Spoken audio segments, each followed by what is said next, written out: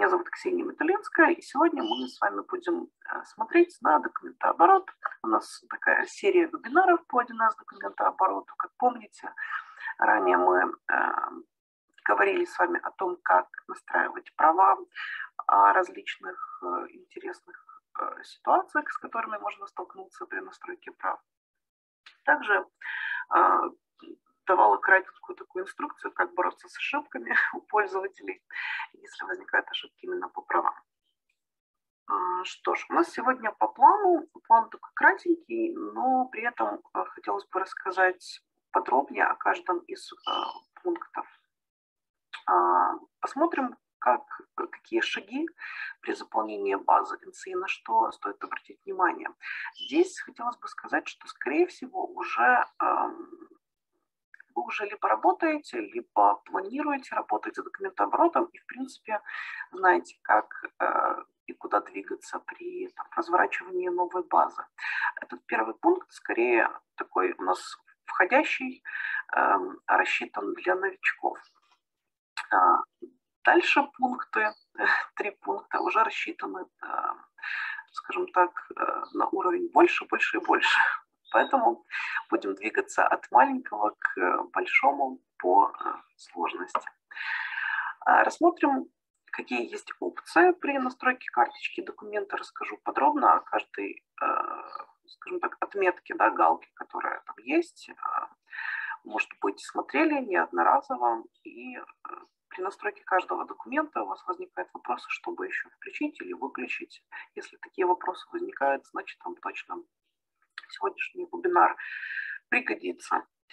А, третий пункт. Рассмотрим, как добавлять доп. реквизиты и как с ними работать. Самое интересное покажу, как без доработок а, двигать этот доп. реквизит на форме документа и выводить его, например, не во вкладке свойства, а во вкладке главное, да, основное в документе.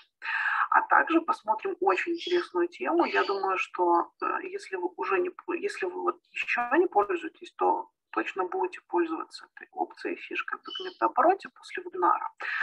Это эм, автоматическое заполнение файлов на основании файлов карточки документа на основании реквизитов, которые заполнены в данном документе. То есть, например, у нас есть какая-то заявка, да, нам нужно эту заявку заполнить данными, там, поставить дату, поставить организацию, которую мы указали в карточке документа, поставить пользователей. Эм, без редактирования физического, да, сделать так, чтобы система сама это делала и э, без, скажем так, участия человека. Очень сокращает трудозатраты по подготовке каких-то шаблонных файлов, а также, допустим, шаблонные договоры можно таким образом создавать, и э, они все будут одинаковые, созданы по шаблону, и исключаем таким образом возможность там какого-то овер-редактирования э, или э, банальных допущений каких-то ошибок. Да. То есть у нас будет один красивый, выверенный шаблон файла, который все пользователи будут э, дозаполнять, при том, что э, заполнение происходит в автоматическом режиме. А, что ж, когда мы говорим о разворачивании, о разворачивании новой базы, э, первым делом нам нужно в эту базу либо ввести, либо загрузить нормативно-справочную информацию. Как вы знаете, для того, чтобы начать работу в базе, нам нужно хоть что-то туда внести. Первым делом, а, что мы делаем, это заводим организации, контрагенты, а, а также физлица. То есть такую, э, всю информацию по нашим организациям. Да, то есть нашим организациям, организациям, с, которым, с которыми мы работаем, с физическими лицами и так далее. Будем сегодня смотреть демонстрацию базы. Это у нас версия, сейчас э, скажу. Версия 2.1, 29.18. Демонстрационная база. от фирмы 1С. Здесь сразу хочу предупредить, если вы не часто заглядываете на наши вебинары, мы всегда показываем демонстрации на демонстрационных базах фирмы 1С, но при этом есть такое ощущение, что, может быть, там вот пишут, что вот там какая-то ошибка в базе и так далее. Э, на самом деле нет, здесь просто демонстрационная тестовая такая база для всяческих уроков или обучений, поэтому, может быть, кто-то вводил там слишком много, информ... много каких-то документов, информации, которые, понятно, что они не актуальны, они демонстрационные, и при этом получается, что иногда у нас есть какие-то очень интересные даты указаны на документах, поэтому прошу на даты не смотреть, на сроки и так далее. Вот то есть это все а, демонстрационные данные, ничья не база, не переживайте. Э, первым делом, если мы говорим о НЦИ, как уже э, говорила, повторюсь, это э, вводим организация, Здесь у нас есть раздел нормативно-справочная организация, э, информация, организация. Вот блок предприятия, на него следует обратить внимание сначала. В организациях забиваем все наши организации. То есть либо у нас есть группа компаний, либо это одна компания и какие-то юридические лица, которые к нам привязаны, да, либо это одно юрлицо и несколько ИПшников, да, то есть отражает нашу структуру, нашу организацию. Контрагенты, что самое интересное, у нас сводится уже не из этого раздела, а из раздела «Совместная работа». Это список контрагентов, довольно стандартный, как и у всех э, операций 1С. Затем после того, как вы ввели э, организации и контрагентов, э, в обязательном порядке там нужно зайти в структуру предприятия нашу и отразить э, по подразделениям, как у нас построена наша скажем архитектура да, нашего предприятия, какие у нас есть подразделения, какие подразделения к нам а, привязаны. При этом, если много спрашивают, что делать, если у нас есть вот одна организация, да, одно юрлицо, и еще три юрлица, которые как бы подчинены организации нашей, что для каждого вбивать нет, на самом деле для каждого не нужно.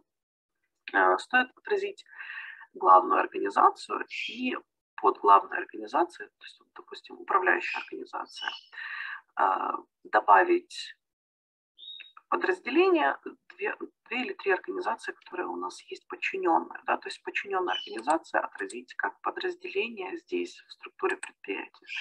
То есть вот там, где пишет структура, это у нас будет управляющий, управляющая организация. А в подразделениях добавить э, все подчиненные организации, которые, которые у нас есть.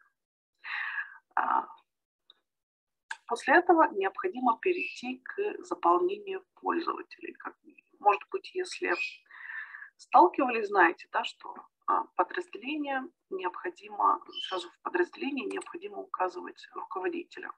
Если вы делаете а, данный процесс вручную, то, скорее всего, вам придется для каждого подразделения заполнять там, а, администратор а затем уже, когда заводите пользователей, назначать пользователей корректных а, руководителями подразделений.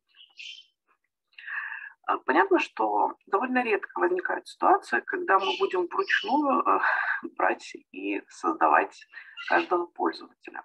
Обычно, эм, если мы, если мы запускаем документооборот, у нас есть уже как минимум одна какая-то конфигурация на предприятии, где у нас этот список пользователей хотя бы базовый да, забит. Даже либо бухгалтерия, либо управление торговлей, либо ERP э, и так далее. А, есть э, возможность выгрузить и загрузить список пользователей с заполненными реквизитами а, в документооборот. Но при этом э, если там предприятие маленькое, три пользователя, э, при этом другие пользователи у нас работают в управлении торговли, то есть не пересекаются, ну, бывает такое редко, то э, можно заполнять таким вот образом вручную.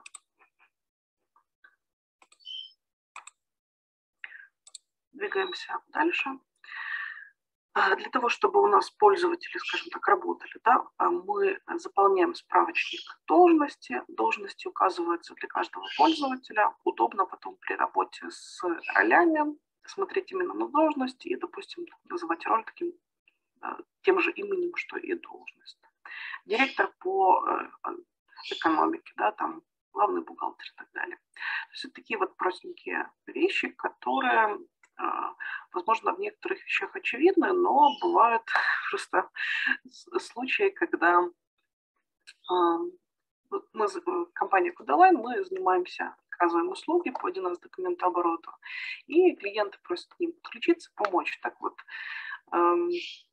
очень интересные бывают картины, да, истории, когда вот при вводе номенклатуры изначально а, было что-то или все сделано неверно, и, соответственно, обслуживание такой системы и сопровождение, оно составляет э, больше трудозатрат, да, чем э, вариант, когда все сделали корректно и правильно. Э, так, про рабочие группы э, расскажу после календарей. Значит, нам нужно заполнить эм, рабочие календари и графики работы. Это очень важно, поскольку у нас могут быть, эм, ну, допустим, у нас есть какой-то завод, да, который, эм, на котором работают сотрудники. Первая смена там с 7 утра до, там, до, до, до 4, и вторая смена с 3 до, до 8 вечера. Э, при этом такие сотрудники у нас будут участвовать в некоторых процессах по обработке наших документов. Как вы помните, в процессах мы э, проставляем сроки исполнения для определенных задач. А, сроки могут быть как в часах, так и в днях. Да? То есть срок выполнения задачи согласовать э, там, 2 часа или 3 часа. И в таких случаях, э, если сотрудник, допустим, всегда работает во вторую смену, а ему пришла задача с утра, для того, чтобы система не, не показывала ложное ложную просрочку, понятно, что нам нужно э, корректно заполнять и вести эти наши графики работы. Чтобы когда человек пришел на работу, да, вот там, допустим, в 3 часа, да, а, то задача ему пришла и э, давал, давал, давался срок исполнения 2 э, часа от времени, когда человек реально приходит на работу. Допустим, предыдущий день предыдущая задача была выполнена, новая задача сгенерировалась и учитывает вот эти новые сроки. А, так, давайте переключимся в нашу презентацию. А, пользователи должности, графики работы, структура предприятия рассказала. Давайте двигаемся к видам документов.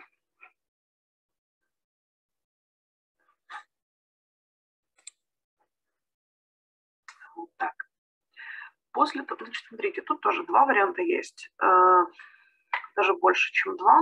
Сейчас мы э, рассматриваем вариант а, введения вручную. Да? Как, откуда, э, откуда нам знать, какие виды документов создавать, загружать?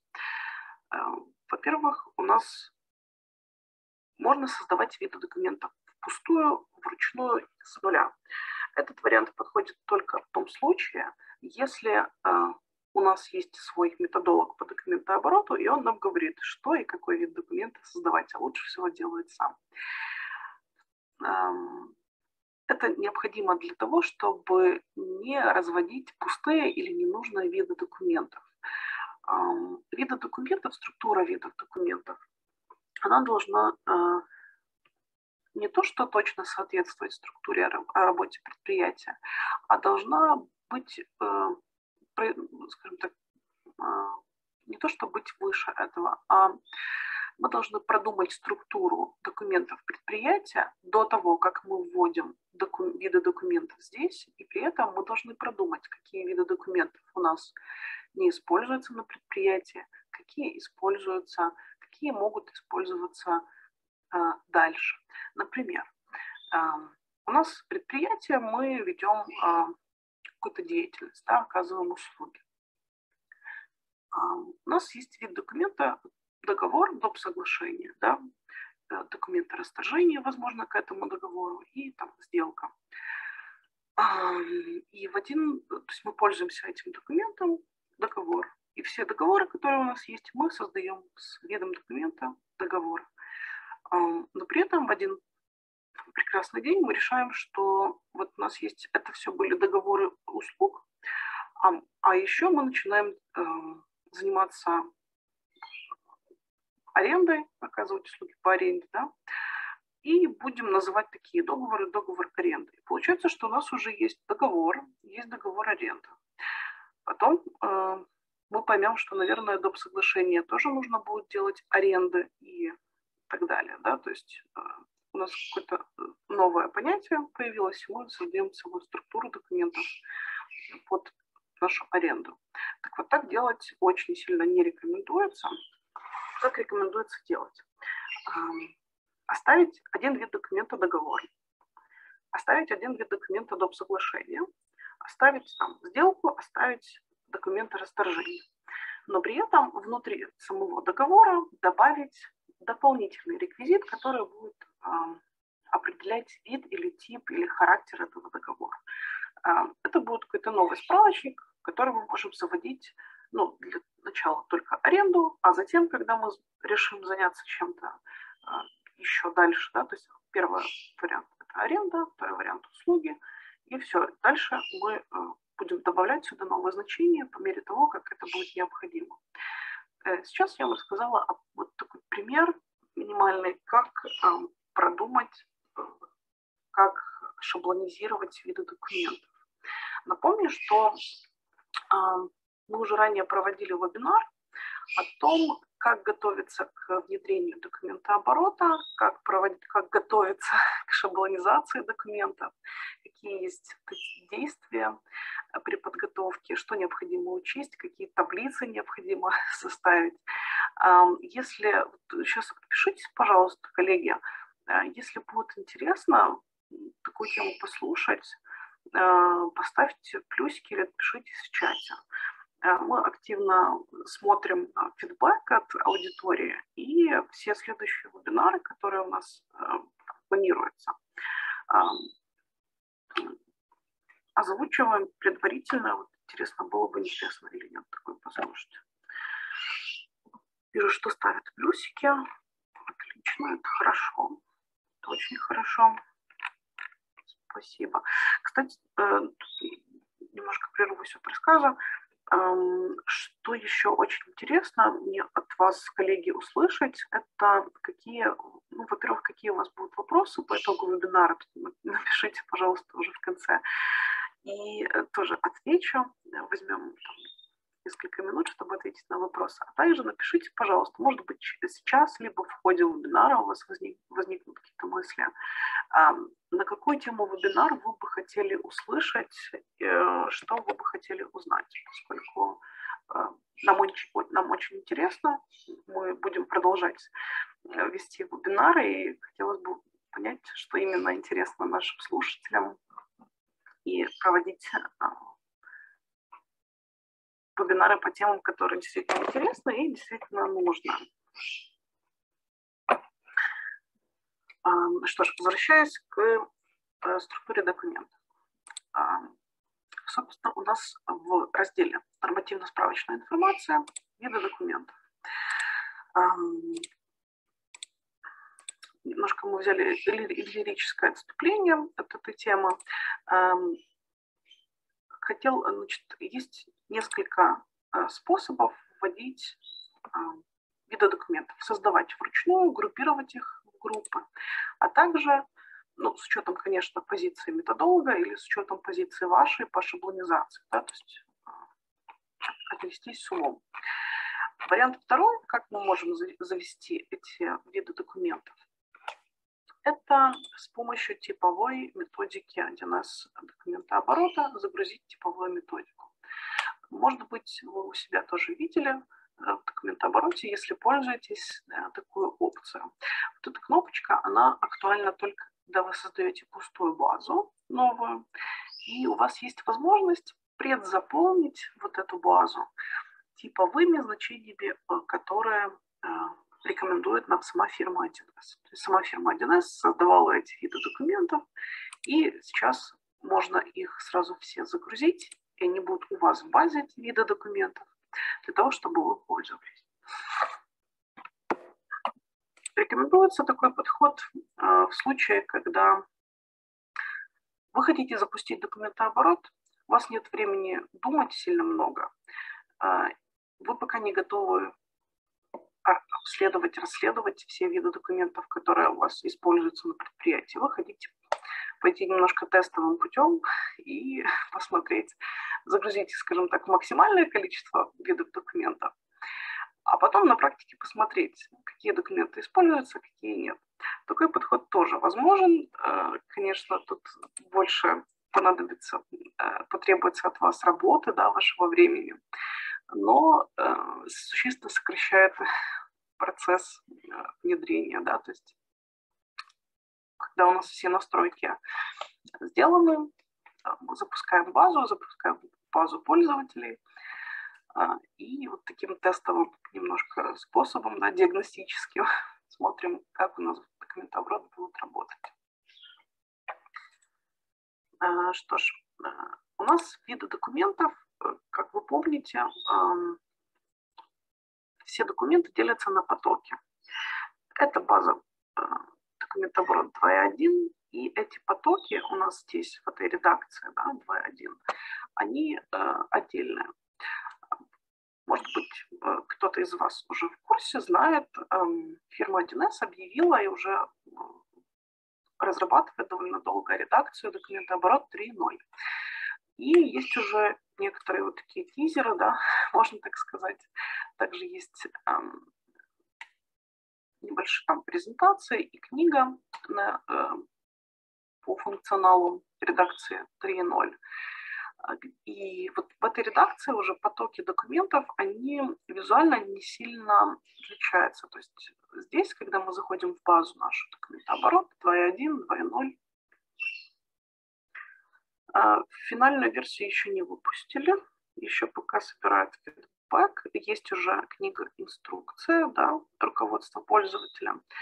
Но пока что финальную версию, а вот там сегодня, кстати, насколько знаю, была встреча с ЦКД, э, обсуждали э, планы, обсуждали баги, обсуждали, э, что есть. А, так. А, так вот, собственно, возвращаясь к потокам. В 3.0 потоков угу, подтверждаете информацию, что выпущено. Окей, хорошо, тогда посмотрю. Посмотрю. Спасибо, что сообщили. Как видите, у вас всегда актуальная информация, это очень круто. Э, что ж, у нас тогда радостные новости с вами, да?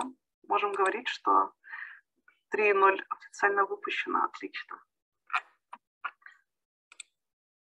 Ну что ж, поздравляю.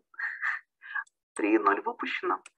Э, кстати, у нас уже ранее был вебинар по э, документообороту 3.0. Если интересно, э, проведем еще один, посмотрим функционал. Кому было бы интересно посмотреть на 3.0 документооборот, пожалуйста, напишите в чатик. Мы обязательно учтем. Хорошо. Очень много плюсиков, супер. Так, вида документов у нас три потока. А, очень, все очень доступно. Внутренние документы – те документы, которые генерируются нашей организацией для нас, факту, и затем, может быть, после того, как документ создан для нас, он может быть выслан кому-то. Входящие документы – это документы, которые генерируются в других организациях, приходят в нашу организацию. Да? Затем у нас уже отрабатываются. Исходящие документы – это те документы, которые предназначены исходно изначально для а, другой организации на отправку. А, ситуация, когда к нам пришел входящий документ, какой-нибудь запрос. На основании этого запроса мы генерируем внутренний документ, допустим, договор, да, и э, обрабатываем этот документ, и на основании договора там, отправляем исходящим документом э, копию экземпляра для подписи. А, то есть такие у нас есть потоки. А, давайте прежде чем заходить в карточку самого вида документа, а, подсмотрим нашу презентажку, о чем еще не рассказала вам. Угу. Окей. Эм, значит, нумераторы папки, шаблоны документов, шаблоны файлов и связи расскажу уже в рамках э, настройки вида. Номенклатура дел. Номенклатура дел у нас настраивается также из нормативно-справочная информация. Номенклатура дел. Я думаю, что если пользуетесь, э, тем, кто нужно, те знают. Папок, э, которые хранят документы по делам и по томам. Вот эта структура, вот эта структура жестко отражена, ну, то есть эм, жестко настроена и отражена для того, чтобы быть э, легальной. То есть там есть требования по ГОСТам, которые определяют количество листов в томах и так далее. Здесь данный функционал номенклатуры дел абсолютно поддерживает все требования ГОСТа. Есть заголовки, индексы и так далее. Внутри деле у нас открывается. Есть также для каждого а, дела настройка томов, то есть если один том заканчивается, начинается другой, а, сколько хранится, какая форма, какая категория и сроки. То есть вот эти категории, они абсолютно соответствуют нашим ГОСТам. Что, давайте посмотрим в вид документа. Всегда показываю на заявке отпуск. Вот у нас э, такой типа, очень типовой вид документа, заявление на отпуск. Открываю этот вид документа, э, можем посмотреть, что у нас в принципе доступно из системы, чтобы настроить этот вид документа. Настройки группы индекса нумерации. А, каждый, каждый документ а, есть, ну, понятно, да, что знаете, есть возможность зарегистрировать. Сам регистрационный номер также настраивается, вот здесь на вкладочке нумерация. И формат регистрационного номера, а, его также можно редактировать. И редактировать до такой степени, что, допустим, указывать периодический номер и затем индекс конкретного вида документа, индекс пользователя, индекс организации.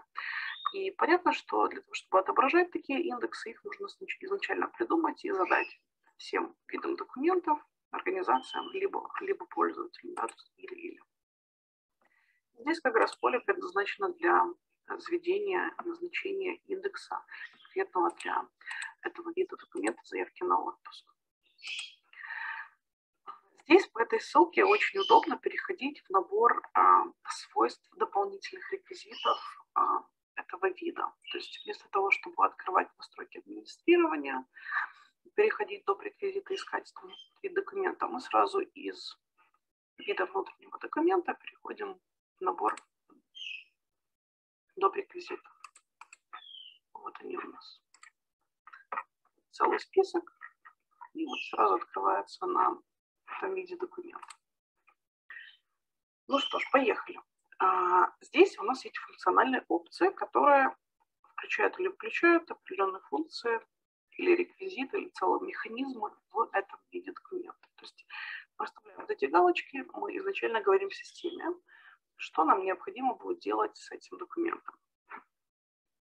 А, использовать срок исполнения показывает реквизит срок исполнения, и туда можно вводить э, определенную дату.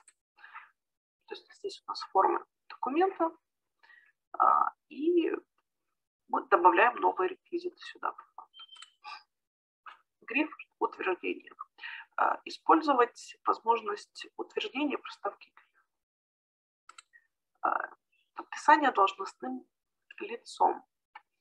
Эта возможность у нас появилась а, довольно недавно. Можно даже сказать, что немножко даже из редакции 3.0, э, где у нас используются должностные лица. Должностные лица – это, допустим, у нас есть пользователь, там, бухгалтер, да, Иванова Ольга там, Петровна. А, этот, главный, этот бухгалтер, Иванова Ольга, в какой-то определенный момент она еще и становится а, главным бухгалтером по а, там, или главным финансистом. Ну, допустим, такая ситуация, да. Это может быть любое. Или ответственный специалист по там, РСПУ или МСФО. То есть по факту у нас есть три позиции или две позиции, которые исполняет один пользователь. Да? То есть это и главный бухгалтер, и специалист по РСБУ, а также она и, специалист по МСФО. Э, в данном случае тут, э, скорее всего, подробнее расскажу на вебинаре про 3.0, но э, в целом задумка какая, что мы привязываемся не к пользователям, а создаем карточки вот как раз таких должностных лиц. То есть пользователь физический существует в двух или в трех позициях должностных лиц. Далее. Вести учет по номенклатуре дел. Э, включается или выключается, можно включать или включить или выключить учет по номенклатуре дел. Появляется новый реквизит в дело и. А, учет по организациям. И учет по контрагентам – это а вот чем отличается также от учета по сторонам? Если мы включим учет по организациям, у нас появится реквизит организация. Вот таким образом.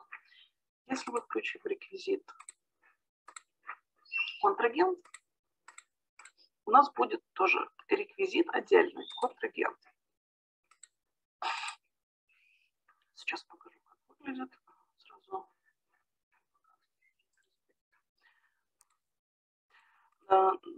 если же мы включим учет сторон, у нас организация и контрагенты будут э, отображаться в виде сторон. То есть стороны, какая сторона. Э, фишка в том, что мы можем также заводить трехсторонние и более документы, где у нас одна сторона, там, наше юрлицо, там, и два контрагента или три контрагента и так далее, или обратную ситуацию. Э, всегда в сторонах э, первая, первая строка – это наша организация, а остальные стороны – это как раз контрагенты.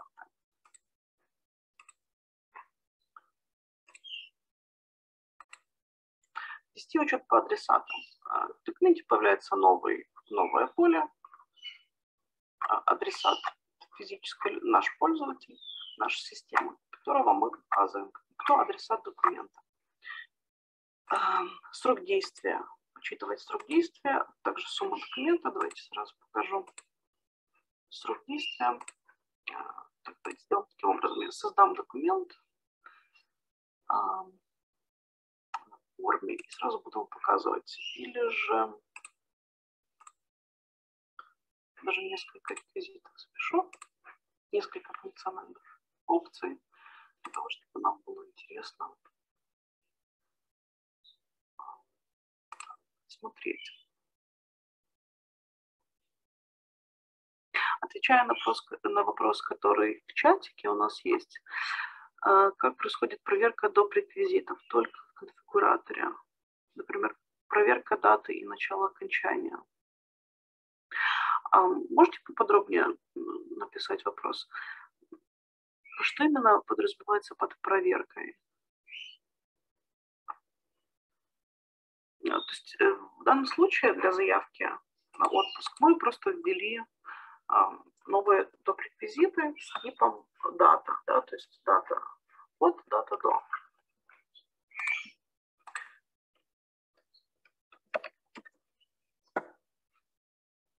Возможно, совсем поняла вопрос, поэтому, пожалуйста, попробуйте развернуть.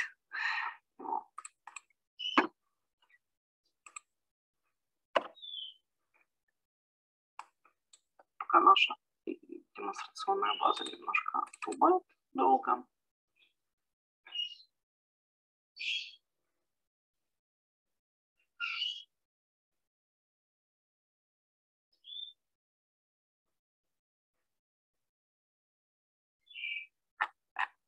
Видите, не сохранились изменения. Окей. Значит, э, хочу показать вам срок действия.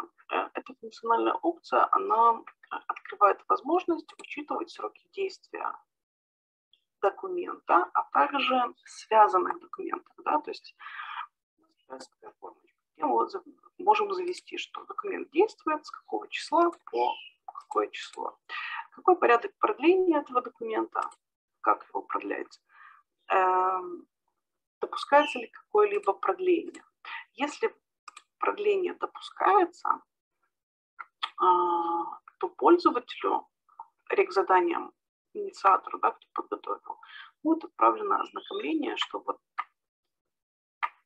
обычно э, вот эти все ознакомления, они приходят э, за 30 дней до окончания срока, но а, также есть опция, чтобы ознакомления приходили там вот под Новый год, да, когда у нас заканчивается год, обычно приходит письмо, да, удобно, когда он так приходит, что а, вот столько договоров у вас было автоматически продлено, и а, вот такие, такие-то договоры у вас допускают продление, пожалуйста, обратите внимание.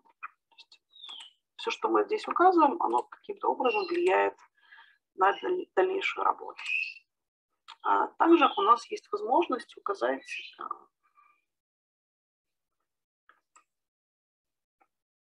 допустим, у нас есть договор и доп. соглашение.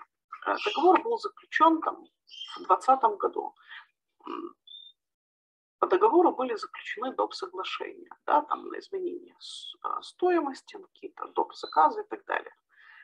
Договор у нас был там, на два или на год, да, два года. А, от завершения 2021 года мы подписали доп. соглашение, что давайте еще продлим на один год наш договор. Таким образом, мы здесь можем отразить, мы заходим в карточку договора да, и выбираем, что срок действия этого документа изменен другим документом. Выбираем и, собственно, смотрим, каким. Зачем все это делать? А, для того, чтобы когда мы формируем отчеты, у нас подтягивались актуальные данные, да, то есть мы не хотим, вот факту данный документ у нас будет актуальным, да, то есть еще на год. И в отчетах по просроченным там, договорам мы не хотим видеть этого документа. Для того, чтобы он туда не попал, как раз мы указываем срок действия. А, сумма указывается сумма документа, а также валюта валюты, можно расширить список валют, добавив их в справочник. А, так. И э, также у нас отдельно учитывается НДС, также есть отдельная функциональная опция. Отдельная функциональная опция в виде документа – это статья ДТС. Отдельный справочник статьи можно выбирать. Таким же образом у нас появляются в документе грифы, да, то есть это общие и секретно грифы. Вопросы деятельности тоже таким же образом у нас создаются.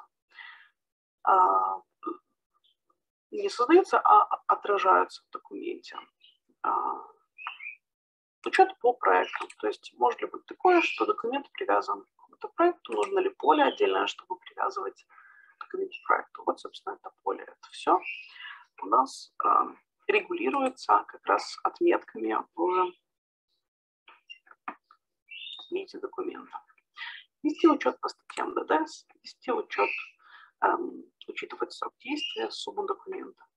Вести учет товаров и услуг – это отдельная опция, которая позволяет э, учитывать номенклатуру э, товаров у нас в документообороте. Как вы знаете, везде, во всех конфигурациях 1С есть одно стабильное звено, да, которое присутствует везде. Это номенклатура, да, то есть какие товары, наши услуги. Но здесь, в документообороте, этот справочник, он не обязателен. То есть, если мы не хотим, мы можем его сюда не заводить. Но вот, собственно, этой опции мы можем, если нужно, это добавлять наш каталог товаров э, и добавлять какие-то определенные товары, услуги из номенклатуры в документ. Да, это удобно, если э, у нас используется заполнение файла. Будем немножко ускоряться, двигаться, поскольку время у нас уже уходит, мы даже не дошли к нашему интересному, нашему автозаполнению, поэтому будем двигаться. А, все эти опции, они а, доступны в режиме администратора да, для пользователя, а, кто является администратором, и позволяют регулировать как раз то, как, мы, как пользователи будут работать с этим видом документа. Изначально необходимо, очень важно правильно настроить корректно вид документа.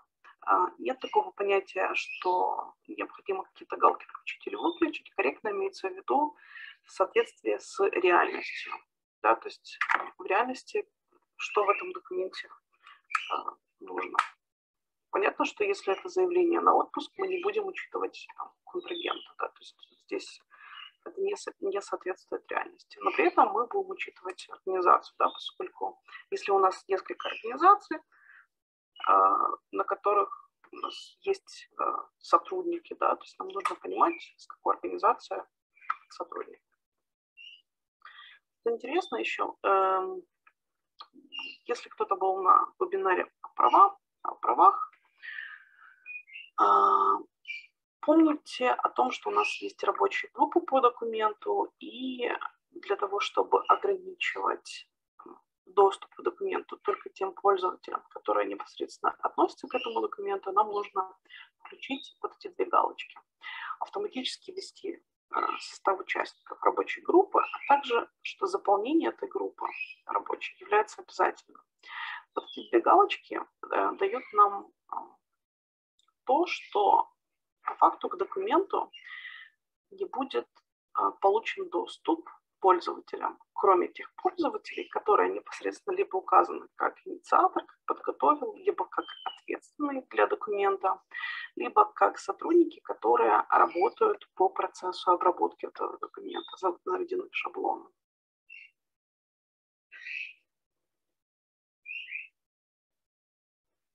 А, так, отвечая на вопрос,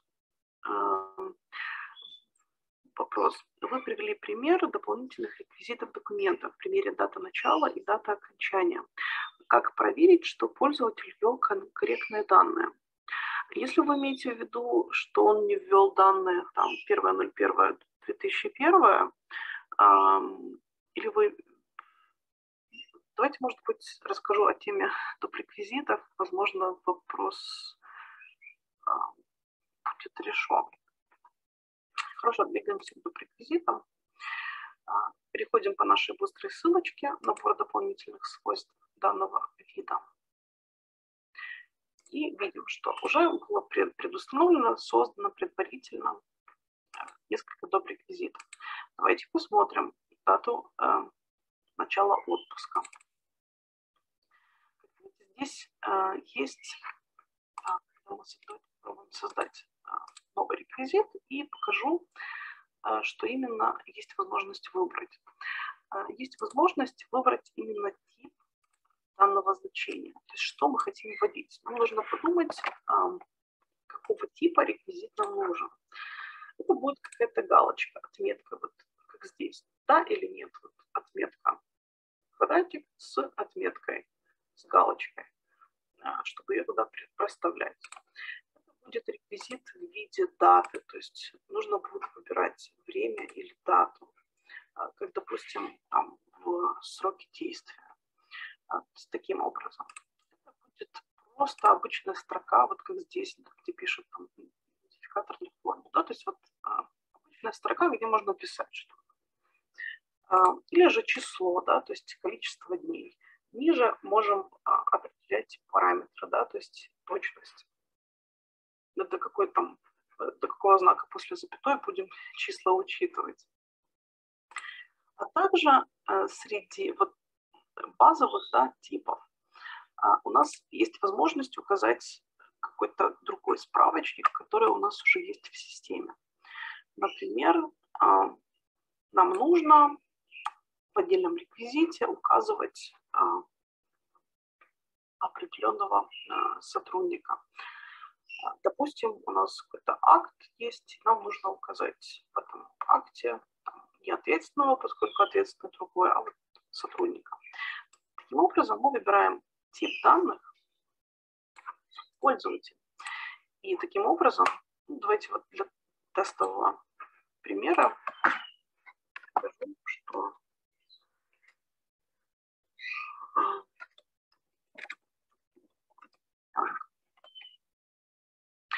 Также настраивают, есть возможность настроить какие-то условия для видимости, обязательности и доступности. То есть можем настраивать, когда реквизит будет виден, когда обязательно, и кто его может заполнять. Ну, то есть здесь доступность имеется в виду, вот, что мы видим реквизит, но он недоступен для а, изменения. То есть таким образом можно регулировать, как мы работаем с этими данными.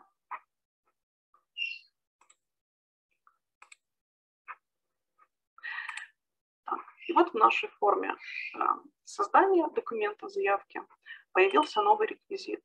Как видите, здесь тип данных – это справочник пользователя.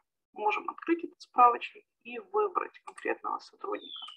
То есть э, много, очень многое зависит как раз от типа данных, которые э, мы выбираем. Вот у нас начало отпуска, открывается форма с выбором даты.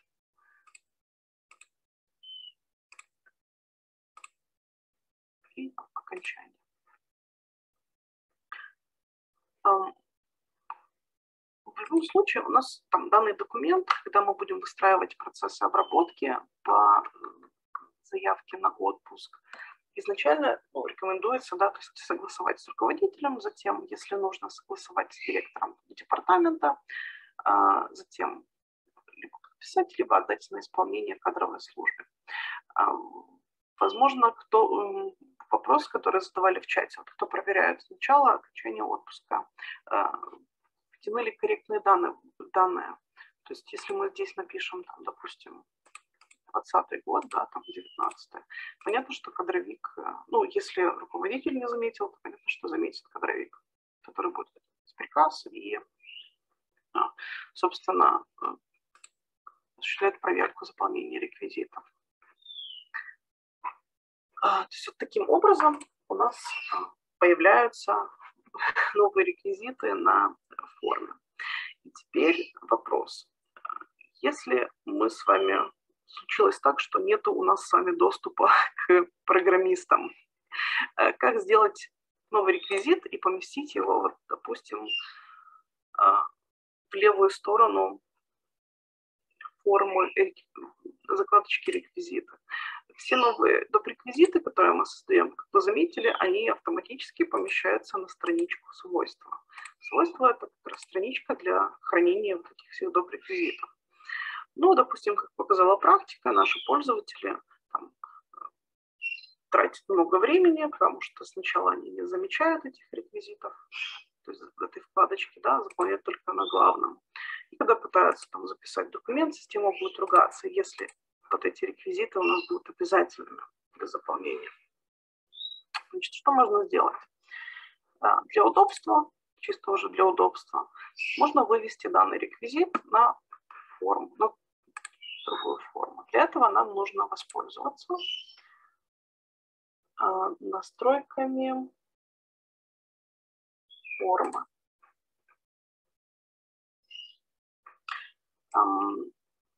это типовой функционал самого предприятия, да, платформа. А, если вы пользовались, пользуетесь а, программами 1С, вы точно знаете, что практически в любой форме есть такая опция, как изменить форму. Что это нам дает? А, нам дает это возможность для себя персонально поменять форму конкретного документа. Видите, здесь у нас отображается структура закладочек, страницы, а, реквизиты, файлы, товары, услуги, утверждение резолюции. Если посмотрим выше, узнаем эти вкладочки. То есть они у нас отражены как. И новый реквизит можем перетащить обычным способом в реквизит. Затем на вкладочку реквизита. Затем открываем эту вкладочку и смотрим поподробнее, куда же именно нам поместить этот реквизит. А, на вкладочке может быть неограниченное количество а, групп, подгрупп и так далее. Поэтому смотрим внимательно, куда мы этот реквизит а, перетаскиваем. Вот таким образом у нас под видом документа будет отражаться наш новый реквизит. Допустим, мы хотим создать доп. реквизит для договоров, вид договора. Этот вид договора мы можем поместить сюда, сразу под вид документа, и всем пользователям будет сразу понятно, как, что за вид этого документа и, и как этим пользоваться. Затем, то, что мы сейчас сделали, это применимо только для нашего пользователя, тем, под которым мы э, сидим в базе. Что делать, если мы вот придумали, что новый реквизит будет тут лежать для, только для этого заявления на отпуск, для вида документа? нам сделать так, чтобы все пользователи видели этот документ здесь. Для этого нам нужно зайти, а, в принципе, в любого пользователя или в своего пользователя.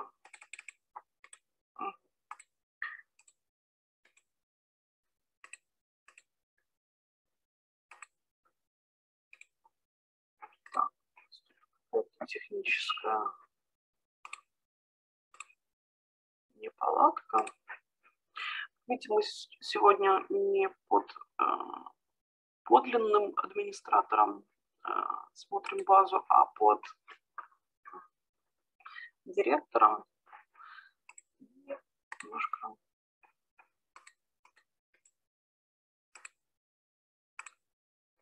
вот Э,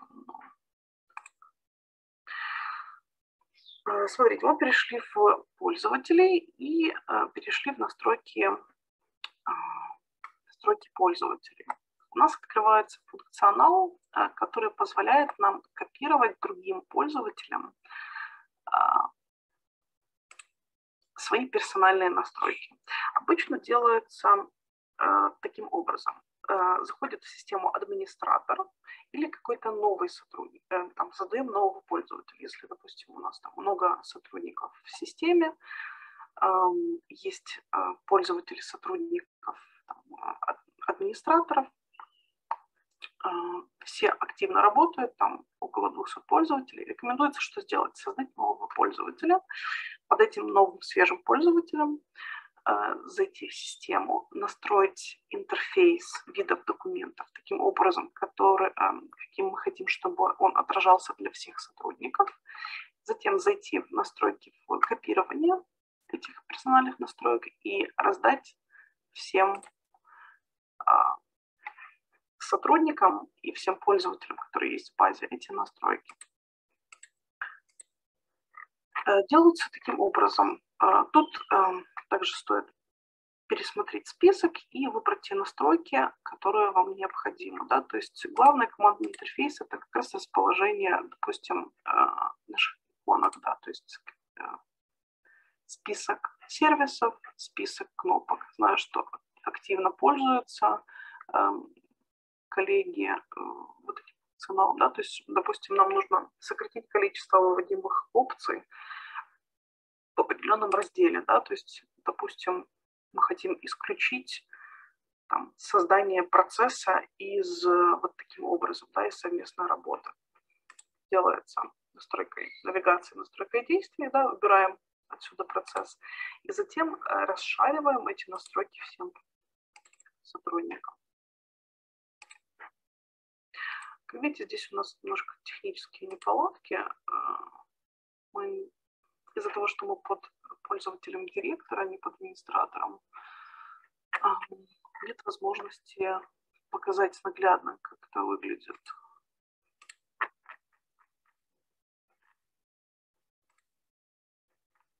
Для того, чтобы скопировать настройки, нам нужно выбрать внутренние документы, именно форма внутреннего документа как элемента, не списка, и его скопировать. Видите, сейчас не позволяют, к сожалению. Окей. Что ж, еще один важный вопрос, о котором э, хотела рассказать и показать его. Э, как работать с заполнением файла. Э, давайте перейдем в наше заявление на отпуск в шаблон документа. И на вкладочке «Файлы» добавим шаблон нашего файла. Что это значит? Это значит, что при создании, каждый раз при создании заявления на отпуск карточки документа будет прикреплен файл. А, вот наш файл. Окей. Файл загружается. А, этот файл мы можем там посмотреть, подредактировать и так далее. Да? То есть ровно в таком виде, в каком он сейчас есть, он будет подгружаться каждую карточку а, созданного документа. Но нам нужно, чтобы сам файл был заполнен актуальными данными из карточки. Это делается как раз из вида документа, из шаблона. На закладочке файла у нас есть настройка автозаполнения. Это как раз то, что нам нужно и чем мы будем пользоваться для заполнения. Значит, как это работает? Изначально откроем файл для редактирования. Сейчас веб-версия, поэтому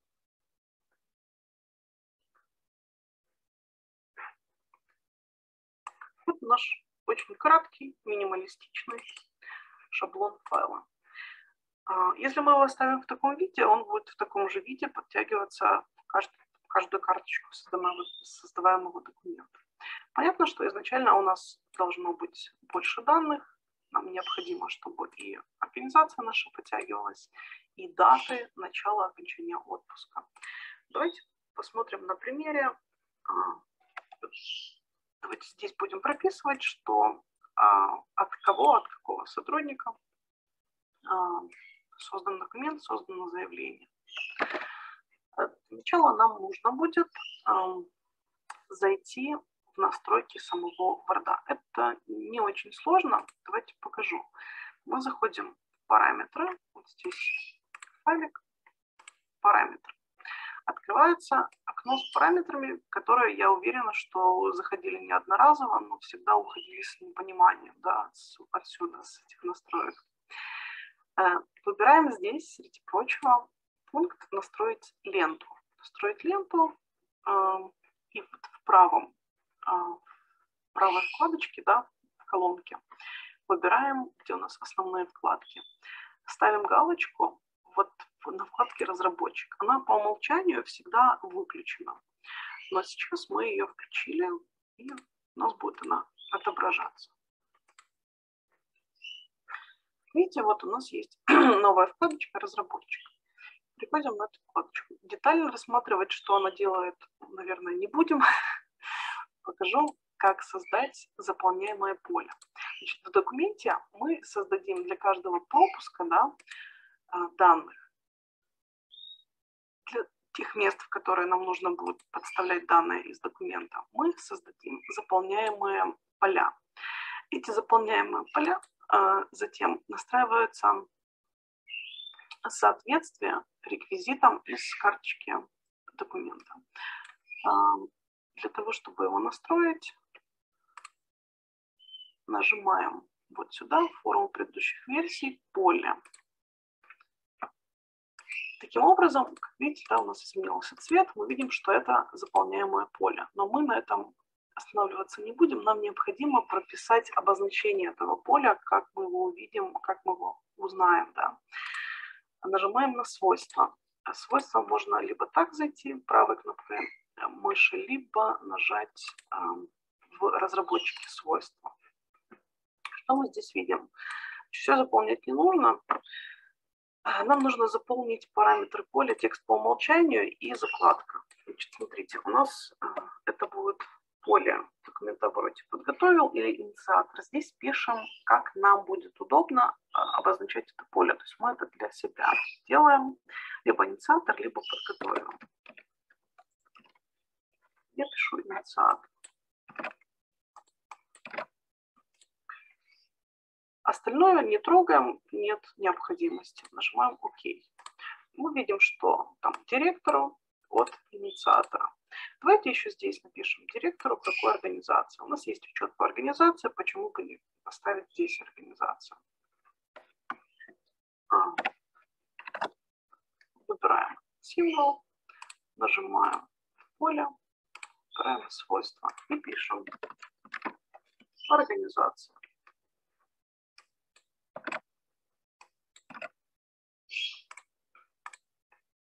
директору организации от инициатора. Заявление на отпуск прошу предоставить мне отпуск. Также добавим поля.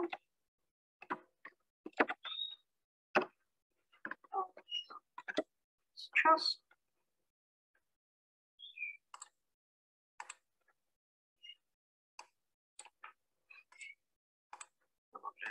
поля, конвертируем их.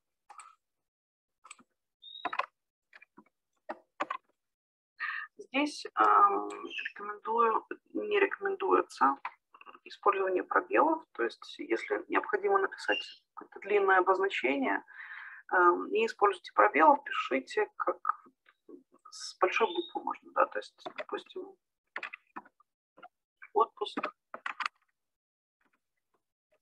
да, то есть, чтобы было читабельно и удобно.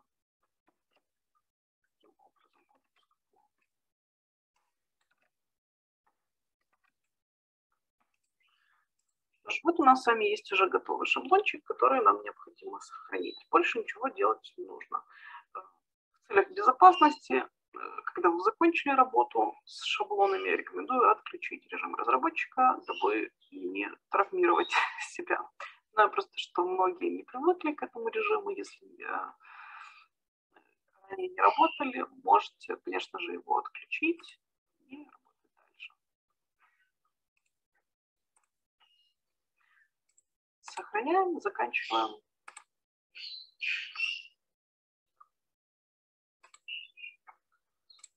Так, вот у нас есть наши поля. И теперь мы переходим к настройке а, наш подход клиент не поддерживает настройку. Окей. Столкнулись с небольшими техническими неполадками. Оказывается, у нас на веб-версии недоступна форма для работы с назначением с назначением полей.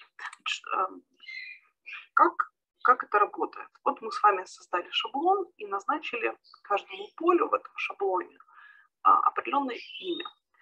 Что остается сделать а, на финише, это обозначить а, соответствие и параллель между тем реквизитом, который у нас есть в базе, да, что вот организация с, а, равна той организации, которую мы указали в файле. Эта настройка как раз происходит в форме, довольно простой форме, которая открывается по настройке заполнения.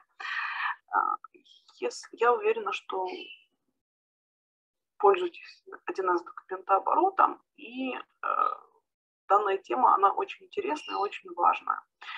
Э, если у вас есть возможность, зайдите, пожалуйста, у себя там документооборот, э, либо на копию базы документооборота, и попробуйте просто зайти в эти настройки и посмотреть, насколько они просты. Да? То есть у нас есть слева будет колоночка от э, реквизитов, и справа у нас будут поля для указания в файле.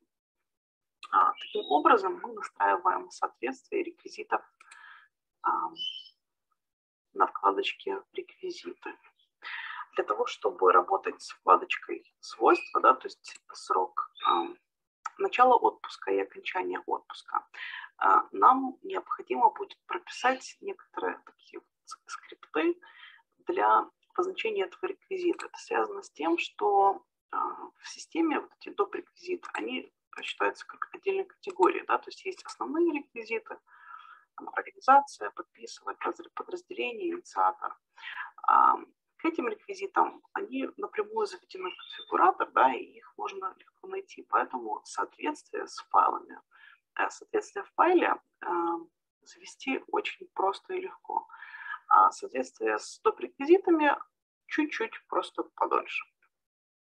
А, возможно, если есть такие скрипты, можно найти в интернете. А, или же, если у вас есть разработчик или вы разработчик, такие скрипты можно написать. В скрипте пишется а, путь к этому доп-реквизиту по его а, наименованию. Также можно дополнительно задавать там форматы. К сожалению, как видите, у нас не открывается данная форма. В любом случае, у нас следующий вебинар будет уже на базе, которая развернута, и э, обещаю показать. Также плюс, э, если есть желание, мож, э, можно выслать вам вместе с записью вебинара э, презентацию, в которой у меня как раз есть включенный этот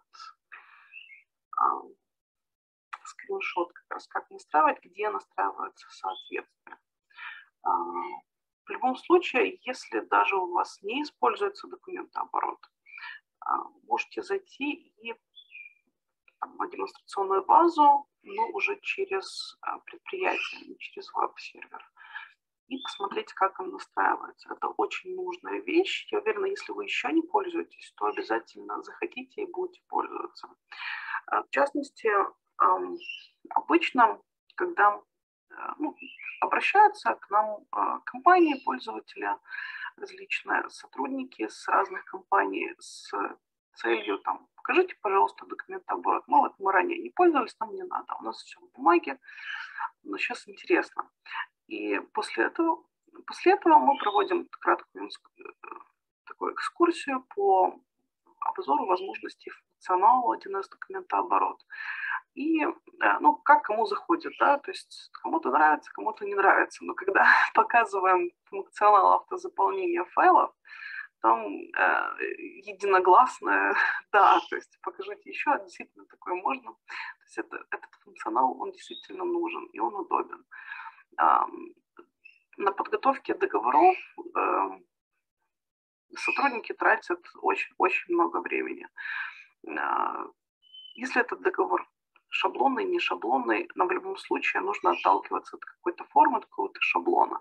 Если у нас много сотрудников там, в отделе продаж, допустим, и всем нужно пользоваться едиными шаблонами, да, то есть там договор аренды, договор поставки, договор такой. Для каждого шаблона документа, для каждого вида мы можем задавать различные а, файлы, различные шаблоны файлов. Да? То есть для договора аренды у нас будет один а, шаблон файла, для договора поставки у нас будет другой шаблон файла. Для каждого шаблона мы настраиваем автозаполнение. И что делает сотрудник в таком случае? Вплоть до того, что можно указать, товары и услуги, которые понятно, что вручную мы не будем заводить документооборот, мы будем синхронизировать, тянуть из другой базы, либо из бухгалтерии, либо ну, чем пользуетесь торговли, ERP. И а, то есть номенклатура должна быть синхронизированной, и, собственно, и цены и так далее. Подтягивать, то есть сотрудник при создании карточки указывает реквизиты, заполняет раз, два, три, организация, контрагент и так далее. Стороны, э, стороны, э, срок действия, дата, товары, какие услуги, э, какие доп. И нажимает «Записать». Когда а, нажимаем «Записать», то происходит, а, система немножко загружается, да, то есть в зависимости от количества реквизитов система думает и как раз заполняет этот файл а, данными из карточки. Вот поэтому пробуйте, и э, в любом случае, я думаю, что после того, как попробуете, у вас определиться да, ваше личное мнение, что вы об этом думаете, пригодится это у вас э, на предприятии или не пригодится, или, возможно, вы уже пользуетесь и есть какие-то вопросы по использованию, по скриптам, э, то пишите. Что ж, будем э, закругляться. Э, если есть какие-то вопросы, пожалуйста, пишите. Спрашивают про запись. Э, да, запись вебинара будет. Она будет отправлена вам на почту, по которой вы регистрировались. Также, э, также хочу вам отправить вместе с записью с презентажку со скринами. Э,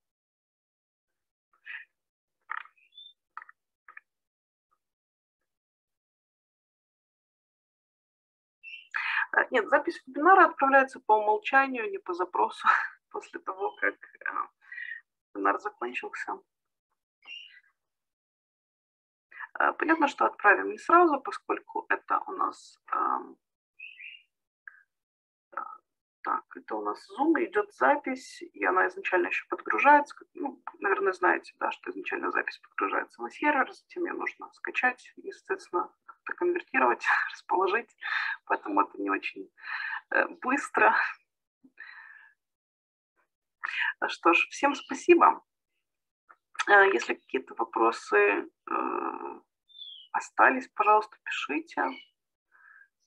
Также э, у нас на сайте э, всегда присутствует э, вот в окошке переписки на нашем сайте quadraline.ru всегда э, присутствует живой человек, и можете задавать тоже любые вопросы. Если это вопрос там, касаемо вебинаров по документообороту, то этот вопрос как раз попадает к нам, в наш отдел, и отвечаем оперативно. Антон спрашивает, хоть кто-то работает с письмами документооборота? Да, Антон, мы пользуемся письмами, работаем с почтой в документообороте. Есть много мнений. Лично мне нравится. Нравится именно из-за того, что письма отправляются не мгновенно. Есть возможность передумать и его немножко поправить. Как вы знаете, в, нашей, в нашем документообороте есть почтовый клиент. Настройка к, поч э, к почтовым ящикам производится таким образом, что если вы э, руководитель какого-то подразделения, у вас, может, у вас будет э, доступ к письмам ваших сотрудников.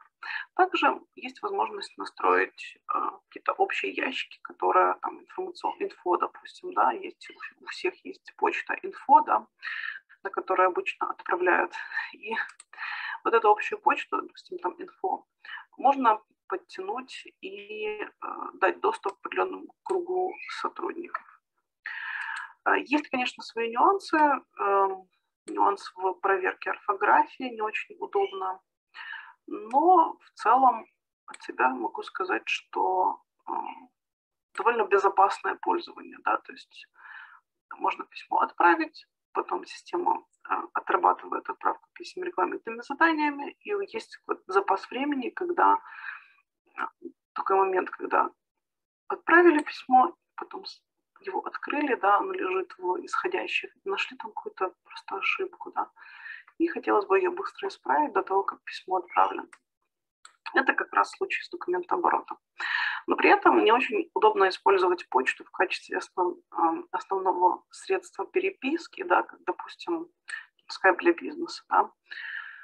Мы не можем рассчитывать на то, что сотрудник сразу увидит письмо и сразу нам как бы ответит. Да? То есть как минимум это одно рек-задание на отправку, второе рек-задание на приемку. Да? То есть сотрудник увидел, ответил, тоже третий, то есть через три рек-задания можно так переписываться и немножко долго. Так, Ирина спрашивает. «А, подскажите, если планируется переход с УПП на ERP и стоит задача внедрения документа оборотом, лучше внедрять параллельно или приоритет у ERP, а потом документооборот? Скорее всего, зависит от количества денег, которым вы обладаете. Э, можно, конечно же, э, сразу работать по двум направлениям, по двум проектам. Это будет удобно с точки зрения выстраивания методологии. Но при этом у вас будет несколько сотрудников заняты на проекте по переходу с ERP, а еще другие сотрудники будут заняты по, на проекте по документообороту. А, по факту основную работу да, будет делать некому. Ну, то есть тут стоит подумать и глубже взвесить. Да. От себя, наверное, я бы предложила немножко не то что растянуть, а если нет каких-то большого штата сотрудников, да, которых мы готовы выделить сразу на два проекта, то э, разделить эти проекты.